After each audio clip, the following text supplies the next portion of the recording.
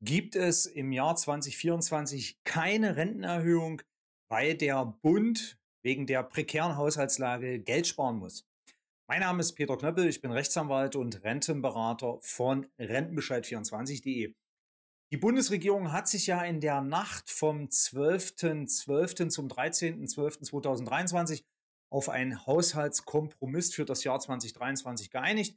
Die Schuldenbremse soll eingehalten werden. Viele Milliarden Euro müssen eingespart werden. Die Rede ist von rund 45 Milliarden Euro, die bis 2027 äh, eingespart werden müssen. Einher geht auch die Rede von Einsparungen im Sozialbereich. Da reden wir aktuell von 1,5 bis 3 Milliarden Euro, je nachdem, ähm, wie man die ganze Sache, was der Lindner davor hat, plant. Ähm, Lindner wird mit den Worten zitiert, wichtig ist aber, es wird keine Reduzierung von sozialen Standards geben. Einsparungen soll es laut Worten im äh, Lindners im Bereich des Arbeitsmarktes geben. Finanziert werden soll das alles durch Einsparungen, ähm, durch sollen diese Einsparungen praktisch ähm, gegenfinanziert werden durch massive Anhebung der CO2-Besteuerung beim Tanken, beim Heizen mit fossilen Brennstoffen und so weiter.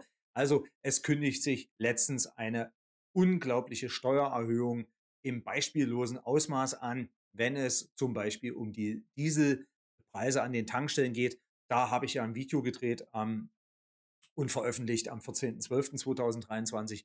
Da gehen die Dieselpreise über Nacht vom 3, äh, von 2023 auf 2024 auf 4,7 Cent nach oben. Das ist schon wieder das Thema mit der CO2-Bepreisung. Die geht auch nach oben und deswegen werden wir letzten Endes hier ganz, ganz hohe Preise, Preissprünge haben. Ja, meine Damen und Herren, äh, und eine Frage, die mich zu, zu diesem Thema erreicht hat, ist, äh, fall, fällt jetzt die Rentenanpassung, die ja zum 1.7.2024 äh, kommen soll, ähm, man redet von 3,5 oder mehr Prozent, ähm, wegen der, äh, wird diese Rentenanpassung wegen den riesigen Haushaltslöchern sozusagen äh, zum Opfer fallen. Gibt es also sozusagen keine Rentenerhöhung 2024, weil der Bund sparen muss. Meine Damen und Herren, bevor ich auf diese Frage eingehe, nochmal ganz kurz ähm, was zu der allgemeinen Situation. Ähm, bis, bevor das Bundesverfassungsgericht entschieden hat, war die Welt noch absolut in Ordnung. Ja, da hatten wir einen Haufen Geld äh, im Bundeshaushalt. Da äh, sollten äh, viele Projekte finanziert werden, auch Umweltprojekte, auch äh, äh, Projekte für erneuerbare Energien. Denken wir zum Beispiel an den grünen, blauen Wasserstoff und so weiter ähm, Transformation weg vom Gas und Öl hin zum Wasserstoff. Eine tolle Geschichte. Alles über Nacht weg. Ja, und die Verunsicherung der Menschen in Deutschland ist sehr, sehr groß, vor allen Dingen auch über, bei den Rentnern, denn ähm, da hat es ja gleich, nachdem das Urteil kam, sofort ging es los mit den Kürzungswünschen von irgendwelchen Ökonomen, aber auch von solchen Leuten wie dem äh, Finanzminister Bayatz der Grünen aus Baden-Württemberg, der ja gleich gesagt hat, oh, da müssen wir an die Rente mit 63 ran. Und weil es noch so schön ist, die Mütterrente 1 und 2 soll ja auch noch wegfallen. Also alles völliger Irrsinn. Und das führt die Leute natürlich dazu, dass sie nachdenken und auch Angst bekommen und dann eben uns schreiben und fragen, was passiert dann mit der Rentenerhöhung 2024? Fällt die jetzt wirklich von, ähm, unter dem Tisch? Ja, wird die also sozusagen äh, hier nicht ähm, kommen? Nein, meine Damen und Herren, ähm, eines dürfte auch klar sein, die Rentenanpassung folgt nach gesetzlichen Regelungen des SGB VI. SGB VI ist das Sozialgesetzbuch, das für das gesetzliche Rentenrecht zuständig ist. Ja? So. Und die Bundesregierung kann nicht einfach so mit einem UKAS oder per Order Mufti die Rentenerhöhung aussetzen, sondern die Rentenerhöhung ist gesetzlich geregelt. Und zwar in Paragraph 65 und 68 SGB VI. Und in Paragraph 65 steht ein Satz dazu. Zum 1. Juli eines jeden Jahres werden die Renten angepasst, indem der bisherige aktuelle Rentenwert durch den neuen aktuellen Rentenwert ersetzt wird. So, und da steht es genau drin. Wenn der aktuelle Rentenwert angepasst wird, weil sich Bedingungen, zum Beispiel äh, Bruttolöhne im Vergleich zum, zu den vergangenen Jahren erhöht haben, ja, dann muss die Bundesregierung per Rechtsverordnung, dazu ist sie gezwungen, so steht es auch im Gesetz, den Rentenwert erhöhen.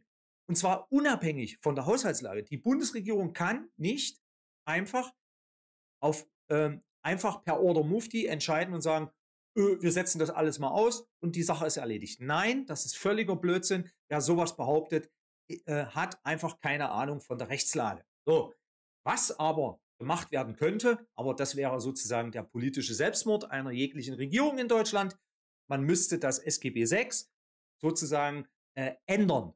Ja, man müsste also praktisch das Gesetz, Paragraph 68, Paragraph 65 SGB VI, einfach ändern oder aufheben oder schreiben, nee, es gibt keine, Renten, äh, es gibt keine Rentenerhöhung mehr. Aber da muss es gesetzlich drinstehen. Und solange wie das Gesetz, so wie wir es jetzt haben, da ist, meine Damen und Herren, kann die Bundesregierung eine Rentenanpassung nicht einfach so aussetzen. Das geht nicht. Ja? Das ist schlicht und ergreifend nicht möglich. Und das wissen die Herrschaften in Berlin auch. Und ähm, nun wissen sie das auch, dass eine Rentenerhöhung letzten Endes ähm, nicht einfach so ähm, vom Tisch gewischt werden kann, wie zum Beispiel eine, eine Steuersubvention, die man ja ohne Probleme letzten Endes kürzen kann oder auslaufen lassen kann. Aber das geht bei einer Rentenanpassung absolut nicht. Die Rentenanpassung in Deutschland läuft nach gesetzlichen Regelungen und die Anpassung selbst ist wiederum in Paragraph 68 SGB 6 geregelt. Also meine Damen und Herren, machen Sie sich da bitte keine Sorgen. Rentenanpassung in Deutschland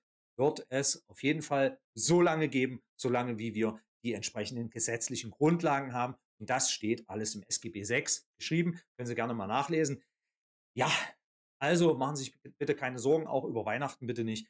Ähm, das ist alles nur Humbug, was da behauptet wird und was sich da verschiedene Leute eventuell auch so ausdenken. Näheres zu diesem Thema finden Sie wie immer auf rentenbescheid24.de. Ich bin wirklich mega gespannt im März 2024, was äh, Bundesminister Heil, wenn es die Bundesregierung bis dahin noch geben sollte, dann für neue Rentenwerte zum 1.7. bekannt geben wird. Ich wünsche Ihnen eine rentenstarke Woche und natürlich eine besinnliche Vorweihnachtszeit. Ihr Rentenberater und Rechtsanwalt Peter Knöppel.